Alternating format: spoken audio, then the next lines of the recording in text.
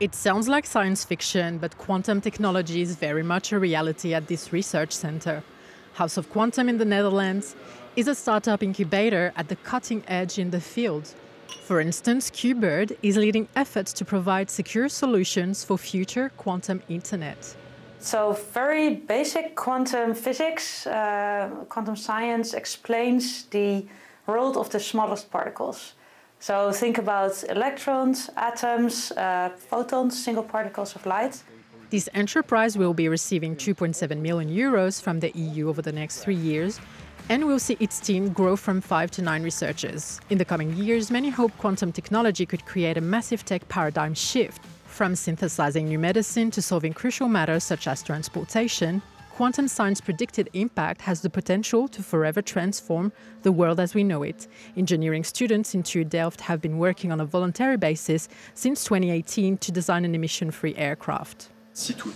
We hope to be the first to fly with liquid hydrogen by 2025.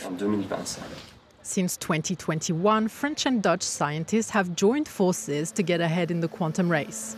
Over the past six years, the EU has funded quantum research with 175 million euros in order to play a more important role in the sector. We have a fantastic starting point in quantum, but if there is a, a quantum economy out there in the future, Europe has a very, very good chance of being one of the main players worldwide. Europe faces a massive challenge in its bid to keep up in the quantum race the brain drain.